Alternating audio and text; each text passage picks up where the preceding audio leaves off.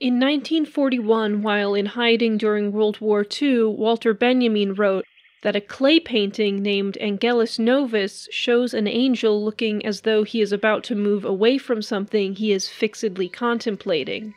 His eyes are staring, his mouth is open, his wings are spread. This is how one pictures the angel of history. His face is turned towards the past, where we perceive a chain of events, he sees one single catastrophe which keeps piling wreckage upon wreckage and hurls it in front of his feet. The angel would like to stay, awaken the dead, and make whole what has been smashed.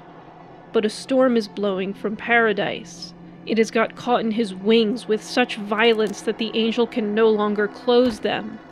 This storm irresistibly propels him into the future to which his back is turned, while the pile of debris before him grows skyward. This storm is what we call progress. In Benjamin's view, we are propelled forward not by hope for the future, which we can never truly know, but by our horror at the atrocities of the past. We cannot go back in time and fix what has been done to our ancestors, so we must instead find the will for change in our desire to avenge them. But what if Benjamin's angel of history suddenly became so horrified at his perception of the present and his trajectory into the future that he gained the will to thrust himself back in time? In M. Night Shyamalan's 2004 film The Village, that's exactly what happens. In the village, a group of people comes together over their shared inability to cope with grief for their loved ones lost to acts of violence. In the late 1970s, they form a new community modeled after a 19th century town. This community is sort of alien to us. Despite their difficulties in verbal communication, the inhabitants are markedly close in their reliance on each other and their adherence to a set of shared principles. The community values hard work. They seem to all be vegetarians. They care for each other in times of hardship. And they more or less unquestioningly defer to authority and agree to keep out of the woods where the scary, bloodthirsty monsters live. There is a sort of coherence of identity here that we would rarely find in our modern day cities. In forming this community, its founders also completely sequester themselves and their children from the rest of the world, which they feel has become rotten, and that feeling stems from a legitimate phenomenon. In his book Community, Zygmunt Bauman describes three essential features of a community. A community is small, everyone in the community is aware of everyone else. It's distinctive, so there's a clear delineation between members and non members of the community. It has a beginning and an end, and it's self sufficient the community provides for all members with a minimum interaction with non members. Because of this emphasis on an in group and an out group, communities must negotiate a balance between freedom and security. Through their proximity and dependence on each other, community members gain a measure of security, but that same interdependence also puts some restrictions on members' freedoms. Members cannot come and go freely from the communities they are bound to. You have made an oath, Edward, as all have never to go back. It's easy to think of this as a scale where as one side increases, the other decreases, and vice versa. One without the other is useless. Security without freedom would be like a form of slavery, and freedom without security would be kind of like the purge. You have to find the right balance. Ultimately, there are many ways for the dance between freedom and security to resolve, but the Industrial Revolution, Bauman asserts, marked a shift towards increases in freedoms for workers under the guise of a liberal emphasis on individualism, freeing the individual from the inertia of the mass. Under the surface, the real shift was the transformation of the proletariat masses into a productive labor force to prop up the freedoms of the bourgeoisie, because, much more so than a community of people, a disconnected collection of individuals is highly modular, so that each worker is easily replaceable. With this new emphasis on individualism, successes and failures are increasingly seen not as the progresses and responsibilities of a whole community, but as the strengths and weaknesses of single individuals. As a result of this shift, combined with the increasing telemetry of the modern world, the type of community described by Bauman doesn't really exist anymore. Modernity has fragmented not only the individual subject, but also the clumps that subjects naturally gravitate toward. We can pretty easily see how the new freedoms afforded to individuals come at the expense of the security and welfare that is naturally provided by a community. But increasingly, we can also see how the dissolution of communities has disrupted the stability of our own images of ourselves. No longer able to situate ourselves within the bigger picture of a stable community, our social connections to others become tenuous and mercurial. Our communities today are primarily aesthetic. Our freedom to join and leave them as it conveniences us becomes more important than our commitments to the other members. Think, for example, of the grief counseling group where the elders initially meet in the village. We might think of a therapy group as a sort of community, but what really binds the individual patients to one another? One member's presence might be meaningful and helpful to another member, but once the former is no longer benefiting from the sessions, they are under no obligation to continue attending to support the rest of the group. They may voluntarily choose to do so, but there will be minimal consequences if they do not.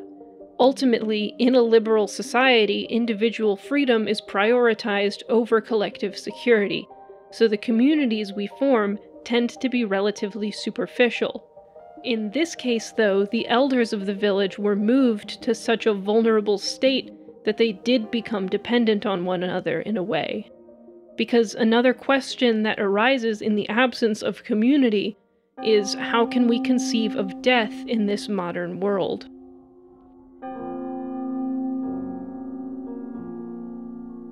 In his book, The Inoperative Community, Jean Luc Nancy calls a community a place from which to surmount the unraveling that occurs with the death of each one of us. That death that, when no longer anything more than the death of the individual, carries an unbearable burden and collapses into insignificance. In a genuine community, when a member dies, it feels as though that death is meaningful and the loss is mourned by the whole society. But today, in the words of neoliberal girl boss Margaret Thatcher, there is no such thing as society. There are individual men and women, and there are families. And those families and perhaps some other loved ones might feel the profound impact of the loss of an individual life, but the rest of the world around them will continue to move on and change beyond all recognition. Without a community that will remember us in death and memorialize our spirit through its own continuity, what becomes of us? I think this is the question that troubled the elders of the village when their loved ones fell victim to acts of unnecessary violence. In a world that is constantly adapting and changing, and with no community to lean on, it becomes difficult not only to slow down and grieve, but also to find peace in the concept of one's own death. This struggle with death and grief is not such an exceptional experience. But what does seem to make the elders of the village exceptional is that their impulse is not to just continue processing their grief against the unstoppable forward march of time, but instead to move back in time into the past, before their loved ones were killed and really before they even had the chance to live. In doing so, they hope to avoid the conditions that caused the untimely deaths to occur in the first place. This movement is marked by a tipping of the scales away from freedom and back towards security. In exchange for the supposed comforts of non violence and peaceful grieving, the villagers must sacrifice any ability to come and go freely or interact with the outside world at all. This impulse is, of course, reactionary by its very nature. When Edward, a professor of history, looked at the problems of the world around him, he did not try to conceive of a new world wholly disjoined from the struggles of modern life. he failed to recognize what Walter Benjamin characterizes as a revolutionary chance. Instead, all he could imagine was a time before some of the debris piled up before the eyes of Benjamin's angel of history. A time when things were still horrible, but a little less horrible than they are now. But we have to ask the question for whom was the past less horrible? If we're looking, it's not hard to discern that every villager we encounter in the movie, protagonist and background character alike, is white. This is not altogether surprising. It's unlikely that people of color would be so enthusiastic about an ideological return to the time just after the United States had been torn apart because they couldn't agree on whether or not it was okay to enslave black people, and they were still in the process of manifesting their destiny all over lands already inhabited and governed by brown people. But I think it might be too charitable to assert that people of color made their own choice not to join this project. A group of white people voluntarily segregating themselves from people of color in particular black people, because of concerns about violence, is not really an M. Night Shyamalan twist at all. It's just a gated community. In the real world, lacking the security of a genuine community, people will fall back on surface level similarities to establish a vague sense of safety from the quote unquote other. They form aesthetic communities around their perceived sameness and exclude anyone who threatens it. Bauman calls this process voluntary ghettoization. These communities become suffocating because the safer you feel inside, the more dangerous the outside world seems to become. The towns. What for? Are wicked places where wicked people live. That's all. It's important to note here the distinction which Bauman makes from actual ghettoization which is a process that only serves to marginalize and destroy communities. Critically, unlike members of an actual ghetto, members of a voluntary ghetto do have the freedom to leave. Even if that option feels impossible and supremely undesirable because of the perceived danger of the outside, it still exists. And moreover, whereas a real ghetto is designed to keep people confined in one space, a voluntary ghetto is designed to keep others out. Racism and xenophobia are the most potent forces towards actual ghettoization because it is fairly easy to place people into racial categories based on the way they look. If those categorizations are wrong or overgeneralized, it doesn't matter much to whoever is in power because they can shift the goalposts as needed. On that basis, creating a uniform gated community should be an easy task. We can see that process at work in many of the shots of the villagers, which frame only their bodies and not their faces, reducing them to a homogeneous mass. But this is a doomed project. It is impossible to excise all variation from a group of people, and this makes the village unrelentingly cruel to those who do not conform. There are two characters with disabilities in the village Ivy, who is blind, and Noah, who has a developmental disability that seems to resemble autism. These characters are also overwhelmingly the victims and perpetrators of violence. This project was not planned with them in mind. Even Noah's parents refuse to treat him with any dignity, they punish him for misbehaving by locking him in a room alone. Ivy and to a lesser extent Lucius are the only characters we see interact with Noah as an equal. When Lucius and Ivy become engaged, though, Noah is finally able to recognize that there is no place for him in this world. His attack on Lucius is not merely a crime of passion. He is also resisting Ivy's assimilation into the oppressive structures of the village, which distances her from him. The attack may be misdirected, after all, Lucius himself also struggles to fit in and be taken seriously, but Noah's not entirely off base here. Soon after the attack, Ivy comes into the room where he is being held. Her earlier empathy is gone. Ivy strikes Noah repeatedly, further and further distancing herself from his transgression and from their shared identity as the only disabled members of the community, driving both of them deeper into alienation and self doubt. Later, not realizing it's him, Ivy kills Noah after he follows her through the woods dressed as one of the beasts fabricated by the elders. In doing so, Ivy is fully embracing the mythology that was created to keep her confined within the village and away from access to people and tools that could enrich her life. Unknowingly, she is also doing the work of the elders for them.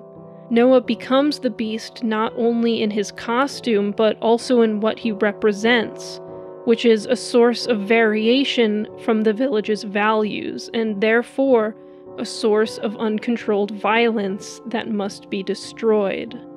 Finally, once the perceived threat is neutralized, Ivy does leave the village, but she is compelled to return not only by her love for Lucius, but also because she can imagine no other alternative. Noah's and Ivy's fates present an interesting small scale model of how minority communities have historically been dealt with by nationalism.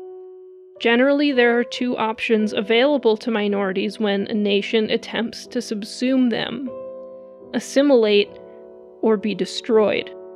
Ivy assimilates, and Noah is destroyed. In either case, their small community, their variation from the norm, dissolves. And I hope it's becoming clear now that the village is not so different from our modern world after all. Edward's idea for the village was simple. He gathered a good bunch of people with similar values who had been hurt by random acts of violence. They attempted to create a better world for themselves and their children by modeling their lifestyle after the late 19th century, which they saw as a time before things went sour. They created a mythology of grotesque beasts which, despite their fearsome appearance, serve to make abstract anxieties more concrete and therefore more manageable. But this solution only superficially responds to violence, grief, and trauma. It fails because it is a community born not out of mutual respect and compassion, but out of fear and hatred of the other. This project does nothing to resolve the systemic causes of violence. It fails to alleviate any of the violence that is done to people on the basis of race or disability because it fails to engage with the inequity that is at the root of many violent acts. Edward seems to recognize the potency of financial inequality as a force for violence when he explains to Ivy why they don't use money in the village. You do not know of money. It is not part of our life here money can be a wicked thing. It can turn men's hearts black, good men's hearts. So the village might appear to be a post scarcity, moneyless utopia, but it is still propped up by Edward's enormous wealth, meaning its existence is still feeding into the capitalist system that created the conditions necessitating it. Meanwhile, even within its walls, the village has not truly eliminated violence. Just as the village has reproduced the systemic problems of racism and ableism, it has also reproduced the outside world's relationship to violence. Violence is a tool that the state and only the state uses to exert its power. In this case, the elders frighten the other villagers into submission with the threat of mutilation by terrible beasts. When Noah identifies violence as a potent force and tries to emulate them, the system is thrown into chaos, and he must be violently punished and eventually subdued. Ultimately, the village begins and ends with preventable deaths. August's son dies due to the absence of modern medicine, and Noah dies because of Ivy's ignorance and her blindness, which is also implied to have been preventable. In both cases, the elders put the secrecy of their project ahead of the lives of their children. Edward asks Noah's parents to consider their son's death as a stroke of luck that will keep fear of the outside world alive. Your son has made our stories real.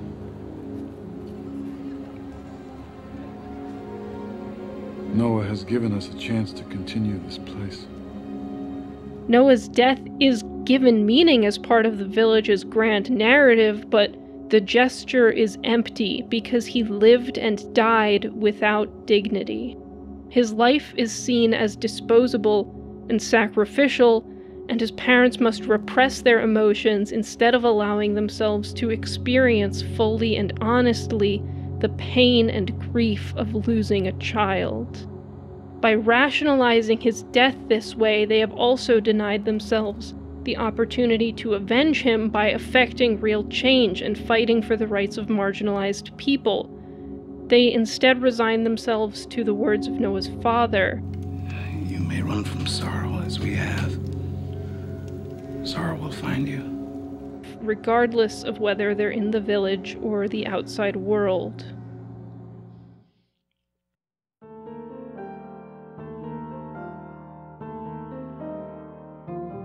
Just before imagining the angel of history, Walter Benjamin writes that the tradition of the oppressed teaches us that the state of emergency in which we live is not the exception, but the rule.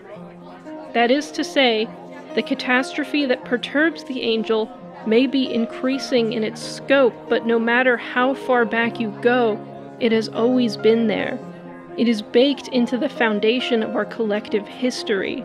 So the elders of the village were not wrong in identifying that the trajectory of so called progress along the axis of time would continue to plunge us deeper into catastrophe. But their mistake was in thinking that they could undo the damage that had been done by traveling back along that same axis in the opposite direction. This is a futile effort, too. Our only hope according to Benjamin, is to make the continuum of history explode. Not to turn around, but to turn away, to radically transform the axis into something entirely new. Not to set back the clock, but to smash the clock apart and build something our ancestors could never have dreamed of.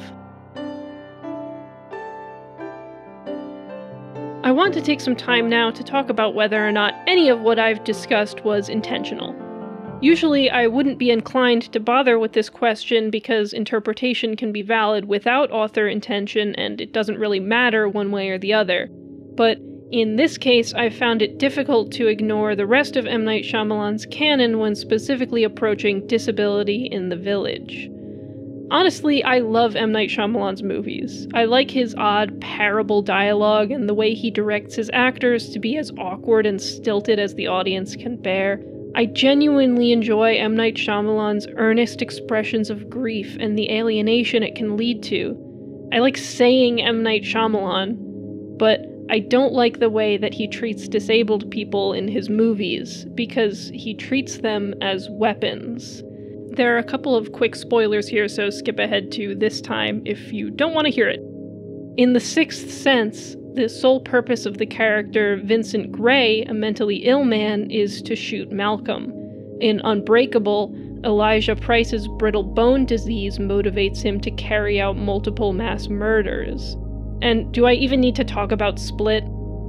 Going by these characterizations alone, we might be led to believe that people with mental and physical disabilities are violent by nature. Sure, these characters also live in a society, and we could blame society for their acts of violence if we wanted to be generous. But I just don't see that in the texts the way that I do for the village. Printed from that same pattern, Noah just becomes another convenient tool to progress the plot lines of the able bodied characters in the village through his acts of naive violence. I think in order to make sense of the village, it's helpful to ask whether the film is sympathetic to the titular conservative project of voluntary ghettoization. And in some ways, it is. This is perhaps felt most clearly when Edward gives an impassioned speech to the other elders about the hope and innocence upon which the village was founded. And that, in the end, is what we have protected here innocence! That I'm not ready to give up. And I don't think there's any irony here. The camera trembles as though it's quaking with emotion at Edward's words. On the other hand, there's something interesting in the original draft of the script, which was leaked before the movie was released.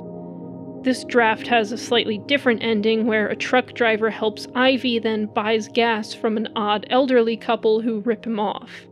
This seems to hint at corruption in the outside world, but as the trucker drives off, he dismisses the couple with the movie's final line Crazy fucking white people. And what better way to characterize the entire conceit of this film?